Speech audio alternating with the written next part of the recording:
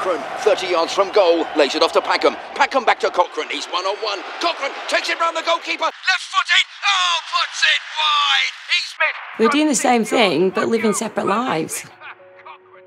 I knew we should have been doing things together a bit more, but it's so easy to slip into bad habits, isn't it? I was racking my brains for a while, and then I realised my mortgage was coming to the end of its term. So I looked into remortgaging to see if I could free up a bit of money. It only took 15 minutes for me to get an idea of how much I could lower my repayments by, and then a light bulb went off in my head. With the spare money, I got a family season ticket. I love it. It's completely changed our weekends.